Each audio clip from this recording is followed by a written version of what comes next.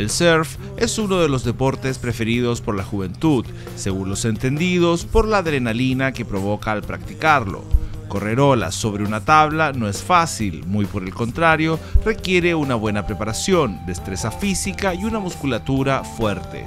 En nuestra ciudad, uno de los polos de desarrollo de este deporte en Chile, existen varias escuelas de bodyboard y surfing para quienes deseen aprender a practicarlo.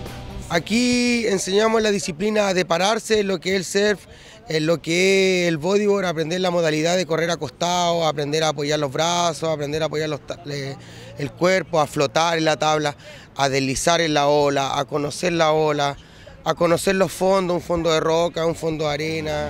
Estas escuelas se encuentran abiertas todo el año, pero la diferencia entre invierno y verano es que en la temporada fría las clases son sábado y domingo, mientras en la época de calor estas son todos los días. Bueno, es un negocio bien rentable ya que es un deporte que ha tenido un alto crecimiento. Estamos en una ciudad turística, vienen bastantes jóvenes motivados por el tema del deporte, el surf, como tú puedes ver. Eh, nosotros contamos con la escuela que abre los, fines de semana. También tenemos dos bloques que son de día 12, 12 a 2. ¿Cuánto, vale hacer un curso y cuántas clases incluye? Bueno, el curso incluye lo que son todos los equipamientos, tiene un costo de 65 mil pesos y son cuenta de 8 clases. No se requieren mayores capacidades físicas para practicar este deporte, por lo que es posible ver a niños pequeños y personas de la tercera edad surfeando. Sin embargo, la mayoría de los alumnos y deportistas son personas jóvenes. Pero siento que siempre uno puede aprender cosas.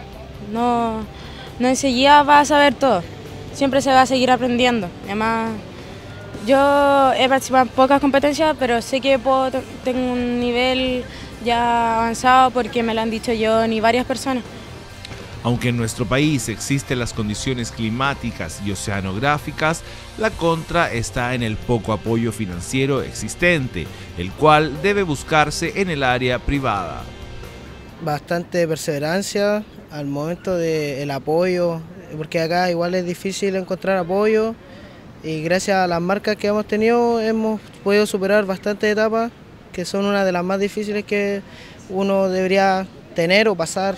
Aunque Iquique es una ciudad que se caracteriza por la práctica de deportes acuáticos, los especialistas dijeron que la otra gran ola estaba en Arica, pero que definitivamente estamos muy lejos de lo que se hace en Hawái o Australia.